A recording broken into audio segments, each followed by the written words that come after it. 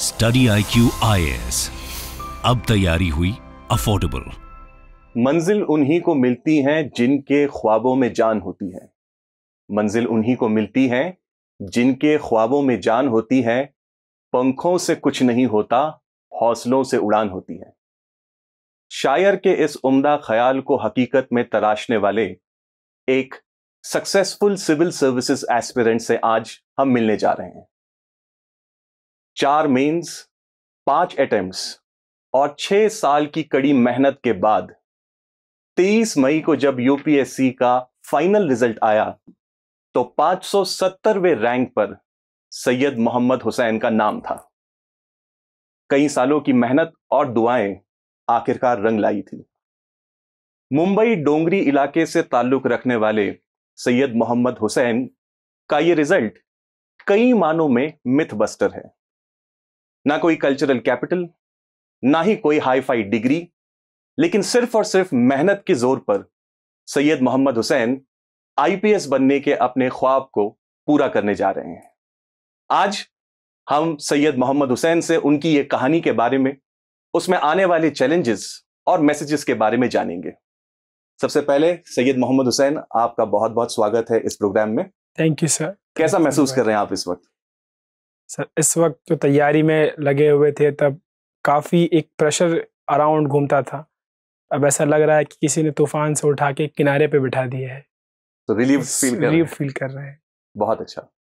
सैयद मोहम्मद हुसैन आपका जो बैकग्राउंड है जिस एरिया से आप ताल्लुक रखते हैं उसके बारे में उस एरिया के बारे में जो है मीडिया में बहुत सारी गलत बातें ज़्यादा सुनने में आती हैं। ऐसे एरिया से आकर के दुनिया के सबसे डिफ़िकल्ट एग्ज़ाम को क्रैक करना ये आपकी जर्नी कैसी रही? इसके बारे में आप क्या कहेंगे? सर, मैं कहना चाहूँगा कि जो भी मीडिया वगैरह में जो चलता है हमारे एरिया के बारे में, वो एक पुराने फ़ेज़ को चलाते हैं। वो एक फ़ेज़ ख़त्म हो गया है और अब हमारे एरिया का एक नया फ़ेज़ शुरू हुआ है, जहाँ पर लोग पढ़ाई को वैल्यू करते हैं और पढ़ाई करने वाले को वैल्यू करते हैं। इसी बीच मेरी भी तैयारी शुरू हुई थी हमारे ही एरिया से। जब मैंने यूपीएससी करने का ठाना था, अपने घर वालों को बताया था कि मुझे यूपीएससी करनी है तो मेरे घर वालों को किसी को ये आइडिया नहीं था कि यूपीएससी क्या होती है। मेरी अम्मी को अब तक समझ में नहीं आता है कि मैं क्या बनाऊँ।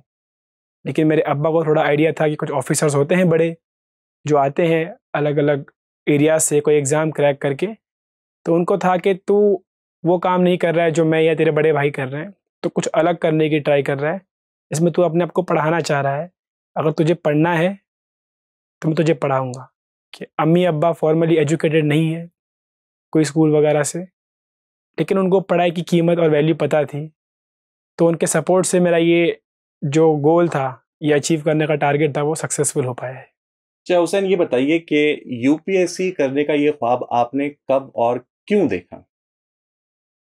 बेसिकली जब घर वालों के साथ अब्बा के साथ जाता था डॉक्यूमेंट्स वगैरह में नाम वगैरह ठीक कराने के लिए तब वहाँ पे जो एजेंट्स होते थे वो बहुत ज़्यादा पैसे वगैरह मांगते थे। और जो बाकी मैं चीज़ें देखता था सोसाइटी में वो मुझे लगती नहीं थी ठीक। इसके बाद वो एक था कि ऐसा क्यों करते हैं ये लोग? और मैंने देखा था कि वो अपने सीनियर से बहुत डरते हैं। भले कितना भी कुछ करे, लेकिन वो होता है कि ऊपर बात कंप्लेंट करना। अगर कंप्लेंट का ज़रा भी उनको डर हो तो काम बराबर ठीक से करते थे। इसका मतलब ये नहीं कि उनको काम करना नहीं, इनका मतलब उनको काम कराने वाला कोई चाहिए, अगर अच्छा कोई ऑफिसर चले गया तो। जब मैं कॉलेज में तैयारी कर रहा था अपनी बी की, तब वो बात आया कि अब मुझे सोचना था कि बी के बाद क्या। वही जो रस्मन तौर पे करते हैं कि भाई पढ़ाई पूरी मुकम्मल बी कॉम के बाद एम कॉम फिर बाकी पीएचडी मुझे था कि मुझे यूपीएससी करना है। उस टाइम मैंने ठान लिया था कि ये एग्ज़ाम को एक ट्राई देंगे। वहाँ पे कॉलेज में हमारे एल्फिस्टन में जो करियर काउंसलिंग जो सेक्शन था, वहाँ पे सर से मुलाकात होके जो बात वगैरह की थी। उसके बाद प्रॉपर तैयारी वहीं से शुरू की थी कॉलेज ख़त्म होने के बाद। हमारे एरिया में गाइडेंस का थोड़ा शुरू शुरू में बहुत दिक्कत हुआ था।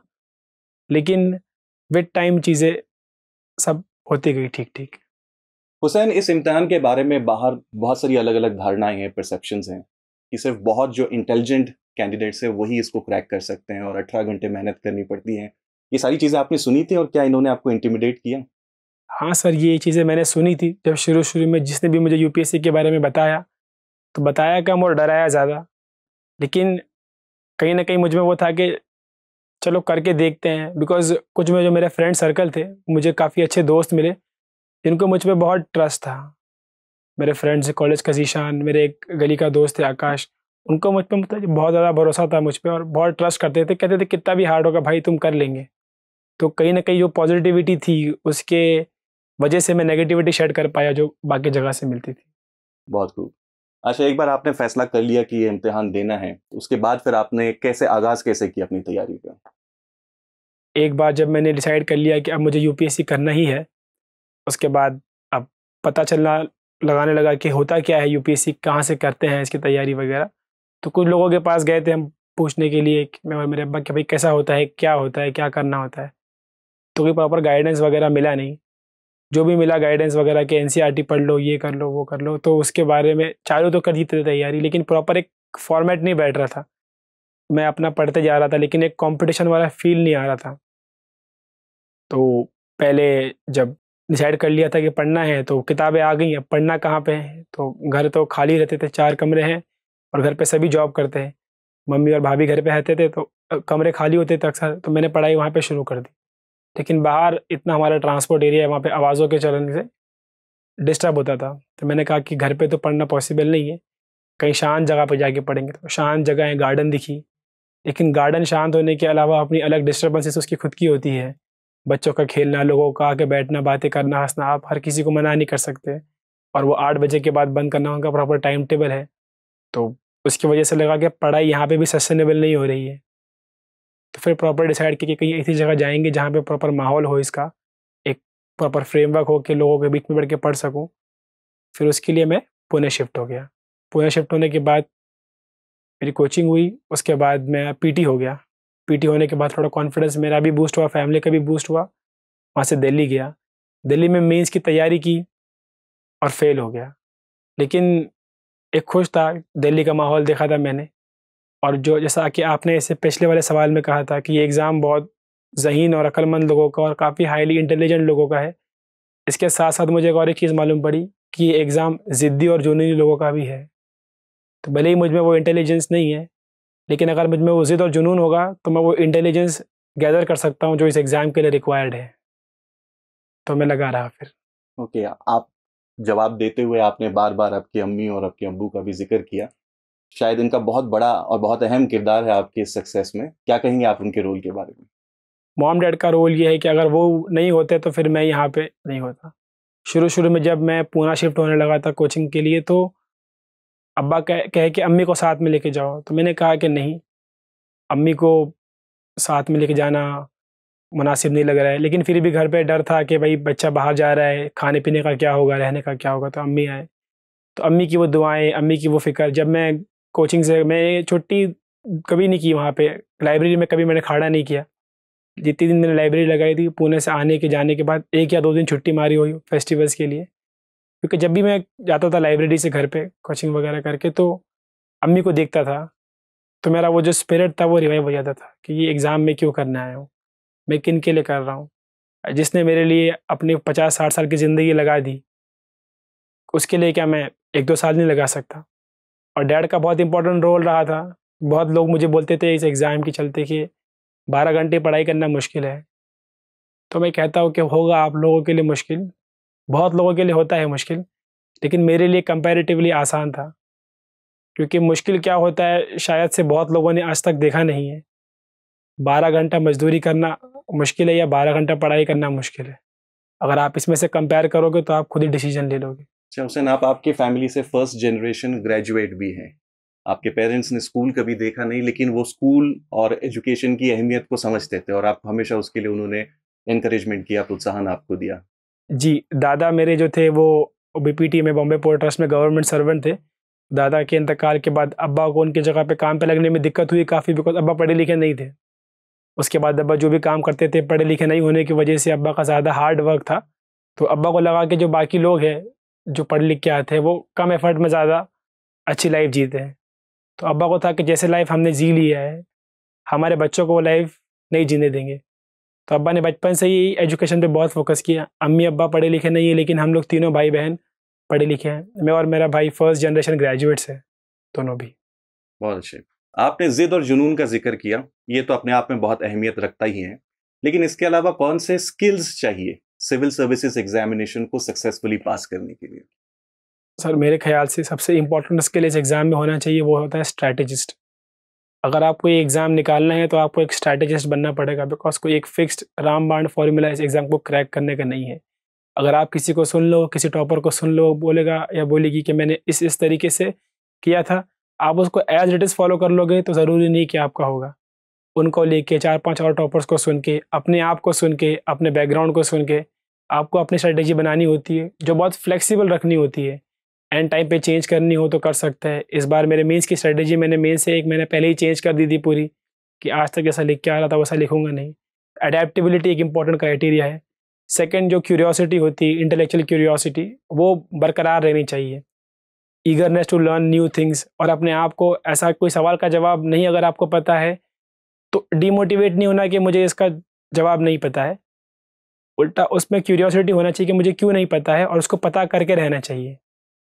और हमको हमेशा इंटेलेक्चुअली हम्बल भी रहना है कि बात जान के कि what we know is far less what we don't know तो ये फैक्टर इस एग्ज़ाम में इंपॉर्टेंट होते हैं और उसके अलावा मुझे लगता है कि परसिस्टेंस काफ़ी इंपॉर्टेंट रोल प्ले करता है इस एग्ज़ाम में। क्योंकि हमने देखा था जब हम दिल्ली में थे तब बहुत बच्चे हार्ड वर्क करते थे। जब लोगों को लग रहा था कि हमारा इस अटैम्प्ट में पक्का हो जाएगा, लेकिन उनका नहीं हुआ।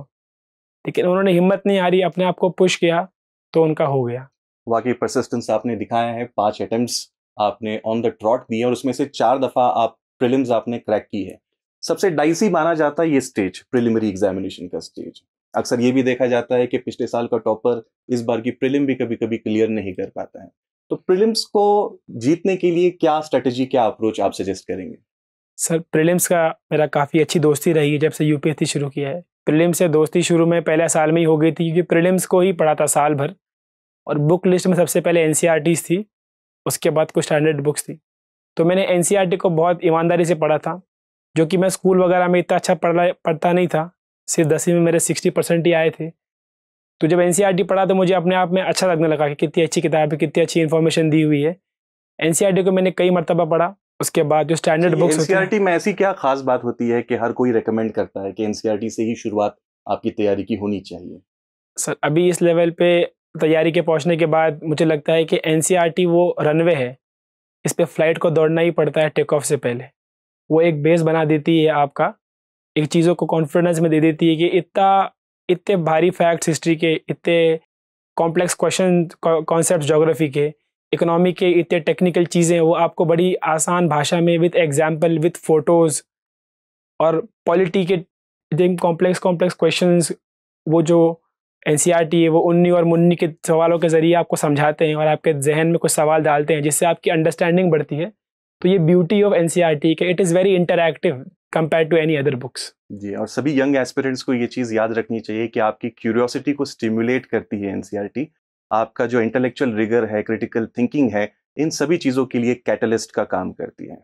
तो प्रिलिम्स का मार्का तो आपने सर कर लिया, आपने बड़ी आसानी से चार दफ़ा प्रिलिम्स निकाल ली। मेंस में लेकिन बात जो है वो थोड़ी अटकती रही। तो क्या आपको लगता है कि नॉलेज और स्किल्स में कहाँ गैप रह जाता था कि आप मेंस क्वालिफाई करके इंटरव्यू नहीं जा पा रहे थे? प्रीलिम्स का जो गेम था वो नॉलेज से कवर हो गया था। मैंने बहुत ज़्यादा पढ़ लिया था एक साल में तो नॉलेज की वजह से प्रीलिम हो रहा था। लेकिन मेंस ने मुझे लगा कि मेरे पास इतना नॉलेज है, मैं लिखूँगा तो इम्पैक्ट पड़ेगा। लेकिन बाद में ये मालूम पड़ा कि तुमको कितना भी नॉलेज हो may you be the most intellectual person in this planet but mains के एग्ज़ाम में you are what you write on the paper अगर आप पेपर में टाइगर बनते हो तो एग्जामिनर को आपका टाइगर वाला फ़ोटो जाएगा, भले ये आपका कोई भी इमेज हो यहाँ पे। तो मैं पढ़ता अच्छा था, लेकिन लिखना इतना अच्छा अपने आप को एक्सप्रेस नहीं कर पाता था। इतने अच्छे से मैं अपने आप को आर्टिकुलेट नहीं कर पाता था। तो शुरू शुरू के टाइम में मैं बस लिखता था। जो पूछा है वो लिख रहा हूँ। कोई ना प्रॉपर स्ट्रक्चरिंग ना प्रॉपर फॉर्मेट तो पहले अटैम्प्ट के बारे में मालूम पड़ा कि मैं ठीक से नहीं लिख रहा हूँ। सेकेंड अटैम्प्ट में पेपर कंप्लीट करने की कोशिश की। थोड़ा एक स्ट्रक्चरिंग आई चीज़ों को लिखने की। नॉलेज बढ़ गई थी तो एक स्ट्रक्चरिंग आई। उसके बाद लगा कि नहीं, और भी वर्क करना ज़रूरी है। फिर थोड़ा लैंग्वेज पे फोकस किया। प्रेजेंटेशन स्किल्स क्वेश्चन को चूज़ करना आंसर राइटिंग अपने आप में एक प्रॉपर आर्ट होता है। जबकि कॉलेज की एजुकेशन में हमको इतनी आंसर राइटिंग करनी नहीं पड़ती तो राइटिंग की प्रैक्टिस नहीं थी। और जिसको मैं निगलेक्ट किया और वो मेरी one of the biggest mistakes थी इस एग्ज़ाम में कि मैंने राइटिंग को बहुत निगलेक्ट किया। बाद में उसकी कीमत मालूम पड़ी तो मैं राइटिंग पे बहुत फोकस करता था और डेली कुछ ना कुछ लिखता था। मैंने diary writing as a hobby he adopt कर ली थी कि डायरी राइटिंग करूँगा।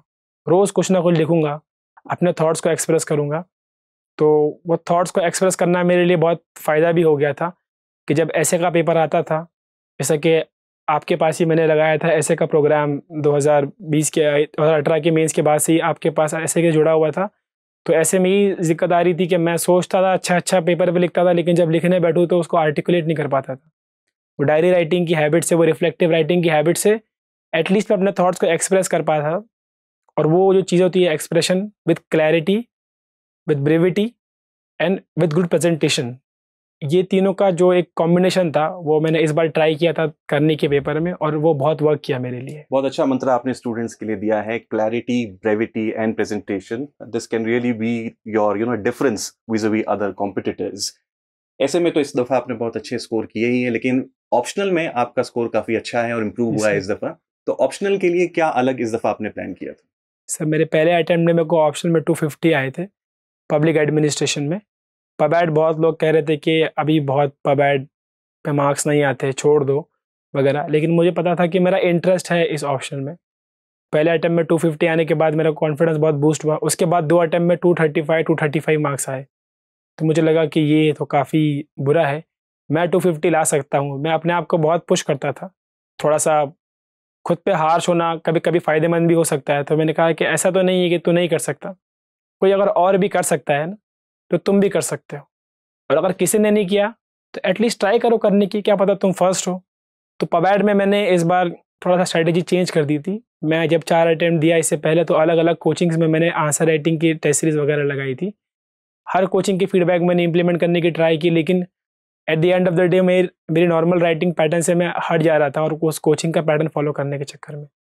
तो बेसिकली इस बार मैंने कोई भी टेस्ट सीरीज़ नहीं लगाई थी। यूपीएससी का पीवाईक्यू लिखता था। तो जो भी 2011 से लेके 2021 तक के जितने भी यूपीएससी के पीवाईक्यू थे पब्लिक एडमिनिस्ट्रेशन ऑप्शनल के, उसको विद ऑप्शंस पहली बार टेक्स्ट बुक्स में से स्टैंडर्ड बुक्स में से देख देख के लिखा। उसके बाद real time answer writing practice की, तीन घंटे का प्रॉपर टाइम लगा के और उसी को रिवाइज करते गया। बहुत सारे बच्चे ये गलती करते हैं हुसैन अक्सर के पी वाई क्यूज चाहे प्रिलिम्स हो या मेंस हो उस पर वो तवज्जो नहीं देते जो देनी चाहिए। तो आप इस पर बच्चों से खास तौर पे क्या कहेंगे? इस पे मैं बच्चों को एक शेर सुनाना चाहूँगा जो पीवाक्यू की तरफ़ आपको मुतवजह कर देगा अच्छा। कि ख्याल जिसका था मुझे ख्याल में मिला मुझे। सवाल का जवाब भी सवाल में मिला मुझे। वाह। यूपीएससी का जो सोर्स है मतलब कोई भी एग्ज़ाम की तैयारी करने का बेस्ट तरीका क्या होता है कि उसका सोर्स जाने। सपोज़ कभी आपको यूपीएससी ने कॉल कर दिया कि, हेलो, आपको पेपर बनाना है। तो आप क्या बोलोगे? कोई भी कॉलेज का प्रोफेसर क्या कहेगा कि, मुझे इसका आइडिया नहीं I don't have any experience about this particular exam और अगर होगा भी, अगर उन्होंने दिया भी होगा जवानी में तो काफ़ी टाइम हो गया। तो यूपीएससी क्या कहेगा उनसे? ये लीजिए हमारा सिलेबस और ये लीजिए हमारा पी वाई क्यू ये हम पूछना चाहते हैं और आज तक ये पूछते आए हैं। तो जो एग्जामिनर का सोर्स है एक one of the two sources हमको पता है कि एक तो सिलेबस है, एक तो पी वाई क्यू है।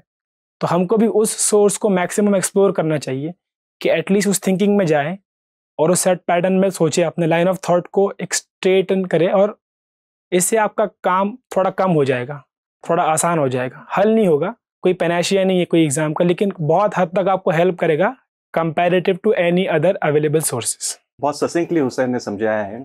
Syllabus or PYQs. They are the what and how of this exam. What the commission can ask, you get that from syllabus, and how they can ask it, ये आपको previous years question से मिलता है. सो so, Hussain ये सारी मेहनत करने के बाद में फिफ्थ अटेम्प्ट में जब इंटरव्यू का कॉल आया तो उस वक्त ज़ाहिर सी बात है आपको बहुत खुशी तो हुई होगी.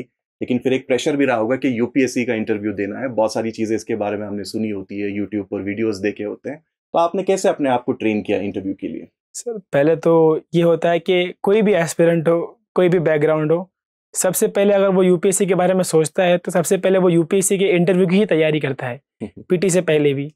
किसी भी टॉपर के पास जाएगा भले ही वो भी ग्रेजुएशन भी कंप्लीट नहीं किया है लेकिन पूछेगा इंटरव्यू में क्या पूछे थे आपको? इंटरव्यू के बारे में क्या पूछे थे? तो इंटरव्यू की इतनी क्यूरियोसिटी रहती है पीटी का सिलेबस जानने से पहले हम इंटरव्यू की तैयारी करने लग जाते हैं आपस में। तो इंटरव्यू को लेके पहले से जो एक नरेटिव रहता है, एक और जो होता है इंटरव्यू का यूपीएससी का इंटरव्यू है तो एक खुशी तो थी कि इंटरव्यू कॉल आ गया, उसके बाद थोड़ा रिलैक्स था मैं, उसको सिंक इन कर रहा था कि हाँ आ गया। मैंने चेक किया, मेरे फ्रेंड को बोला चेक करने के लिए, फिर मेरा रुक जाओ, नाम की लिस्ट आने दो। एक और एक बार चेक किया मतलब उसके बाद चेक करने के बाद थोड़ा रिलैक्स था कि अभी डेट नहीं आई है। लेकिन जब डेट आई तो मालूम पड़ा कि पहले हफ़्ते में ही है। तो फिर फिर दिल्ली चले गया फिर दिल्ली जाने के बाद तैयारी वगैरह शुरू की तो पहले ही इंटरव्यू में काफ़ी फीडबैक वगैरह मिला। जो मुझे टीचिंग की हैबिट थी, बच्चों को यूपीएससी एस्पिरेंट्स को, वो मुझे काम आई। उन्होंने कहा डिलीवरी ठीक है, थोड़ा नॉलेज को और एक्सपैंड करो और थोड़ा बहुत फीडबैक जो दिया, उसको लेते गए। लेकिन फिर मालूम पड़ा कि बात बहुत बहुत इंटरव्यू दे के कुछ फ़ायदा एज सच नहीं होता, क्योंकि असल तो फीडबैक पे इम्प्रूव करना है। अगर मैं पहले इंटरव्यू के फीडबैक पे इम्प्रूव नहीं कर पाया तो सेकंड इंटरव्यू में I will just repeat my mistakes तो वो जो प्रेशर था वो मुझे एंड तक था, लेकिन बाद में इंटरव्यू के दिन बड़ा मैं रिलैक्स हो गया था, क्योंकि बहुत अपने आप को चिल करके मैंने बोला था कि आपको बहुत जेनुअन रहना है इंटरव्यू में। बहुत जो हमारे सीनियर्स थे, जिनसे मैंने बात की थी इंटरव्यू से पहले, उन्होंने बोला कि जेनविन रहो नेचुरल रहो। जिनसे को तुम इंटरव्यू देने जा रहे हो, उनका इतना एक्सपीरियंस है पब्लिक एडमिनिस्ट्रेशन और फ़ील्ड में, इतनी तुम्हारी एज भी नहीं है। तो अपना नेचुरल रहो। तो ये मुझे लगा भी उस दिन। जैसे ही मैं पैनल में एंटर किया आई एफ़ एस में था नागराज मैम का पैनल था, उन्होंने मुझे एक सवाल पूछा इनडायरेक्टली कि वाई आई एस तो मैं आंसर प्रिपेयर करके गया था, जैसे बाकी एस्पिरेंट करते हैं हम लोग कि कोई स्टोरी सुना देंगे, कोई कुछ कर देगा। लेकिन I was so taken aback by the question पहले ही क्वेश्चन तो वहाँ पे मैंने छठा आंसर दिया जो नेचुरली निकला। उन्होंने पूछा कि आप मुंबई से हो और आपने बी किया है, और अगर आप चाहते तो कोई भी आपको जॉब मिल जाती, लेकिन आपने कोई जॉब नहीं की, पाँच साल से तैयारी कर रहे हो। तो मैंने कहा कि मैम सडनली मेरे को एक्स टेंपो निकल गया थोड़ा पॉज के बाद के। मैम, जब मैंने इस एग्ज़ाम का नेचर देखा और अपना लेवल देखा तो मुझे लग गया कि अगर इस एग्ज़ाम को निकालना है तो मुझे अपना हंड्रेड परसेंट देना ही पड़ेगा इसके लिए। तो जब दोस्तों के पास गया वापस तो बोले, कौन सा वाला तूने बोला पाँचों में से? बोला छट्टा बोल के आया हूँ। सो इंटेग्रिटी और आपकी जेन्युइननेस ये जो है वो पैनल खास तौर पे वहाँ पर देखना चाहता अच्छा मुझे ये बताइए कि इंटरव्यू में कुछ ऐसे सवाल ज़रूर रहे होंगे जिनका जवाब आप नहीं दे पा रहे होंगे, आपको याद नहीं आ रहा होगा तो ऐसे क्वेश्चन को कैसे टैकल कुछ सवाल थे इंटरव्यू में, बड़े ऑब्वियस सवाल के जवाब भी आपको नहीं आते कभी कभी जैसा कि बहुत बेसिक फैक्ट पूछ लिया कि मनी बिल के बारे में पूछ लिया तो प्रीलिम्स में एटलीस्ट आपके पास वो ऑप्शंस होता है कि आप एलिमिनेट कर सकते हो, लेकिन यहाँ पे ऑब्जेक्टिव को भी जब सब्जेक्टिवली बयान करना पड़े तो आपको बहुत एक्यूरेसी रहनी चाहिए आपके फैक्ट्स में और आप प्रॉपरली आर्टिकुलेट करना चाहिए। तो मुझे बहुत से सवाल के जवाब नहीं आए तो मैं पोलाइटली मना करते गया और बहुत जगह पे ऐसा हुआ कि इतने ऑब्वियस सवाल के जवाब मुझे नहीं आए, जो मुझे पता थे लेकिन उस टाइम पे मेरे को श्योरिटी नहीं थी तो मैंने कहा, ma'am I have read this but at this moment I am not able to recollect what I have read तो पोलाइटली उन्होंने सवाल बदल दिया और जो हम बाकी जगह पे जो पैनल वगैरह में जाते थे मॉक वगैरह में, वहाँ पे ग्रिलिंग काफ़ी होती है बच्चों की। आप बोलते रहोगे, कोई आपको क्रॉस क्वेश्चन करेगा, कोई आपको डाउट करेगा तो मेरे साथ ये एक्सपीरियंस तो इंटरव्यू में नहीं हुआ, जहाँ तक मैंने यूपीएससी का पैनल पाया है। वो चाह रहे थे कि मैं बोलूँ, वो चाह रहे थे कि मैं अपने आप को एक्सप्रेस करूँ मैक्सिमम उन चालीस मिनटों में, कि अगर मुझे कोई सवाल नहीं आ रहा था, वो कह रहे थे इट्स ओके नेक्स्ट क्वेश्चन जो तुमको आता है, वो बोलो। जो तुम्हारा एरिया है तुम उसमें अपने आप को एक्सप्रेस करो जितना तुम कर सकते हो। पूरी तरीके से आपके साथ में कॉर्डियली इंटरेक्ट कर रहे थे और आपको पूरा मौका दे रहे थे अपने थॉट्स को एक्सप्रेस करने जब मैंने कहा कि सर मुझे इसका I am not able to recollect sir ने प्यार से मुस्करा के सवाल चेंज कर दिया।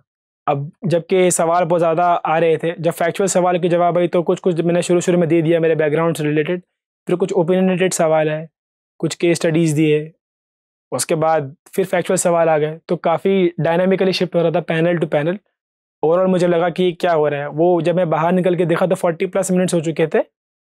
लेकिन वहाँ पे मालूम नहीं पड़ा कि कब टाइम निकल गया। अच्छा। और ये सब होने के बाद में आपके इंटरव्यू के नंबर बहुत अच्छे आए हैं 190 marks so that goes to show that the panel is not looking for your information base they are trying to assess your personality आपकी इंटेग्रिटी किस लेवल की है ऑनेस्टी कैसी है ये वहाँ पर मैं चेक किया जा रहा है। हुसैन, इस सारे स्प्लेंडेड सक्सेस के बाद में आपके हिसाब से आपको क्या लगता है कि आपकी सक्सेस से क्या मैसेज सोसाइटी को और दूसरे एस्पिरेंट्स को पेरेंट्स को क्या मैसेज जाना चाहिए? मैसेज तो मैं ये देना चाहूँगा कि कोई भी फ़ील्ड अगर आप अपने लिए चूज़ कर रहे हो, कोई भी लेवल पे आपकी पढ़ाई के, चाहे वो यूपीएससी हो, चाहे वो इंजीनियरिंग हो मेडिकल हो सोशल वर्क हो पॉलिटिक्स हो, जो भी चीज़ में आपको परस्यू करना है, अगर आपने एक बार नियत कर ली है तो हार नहीं माननी चाहिए।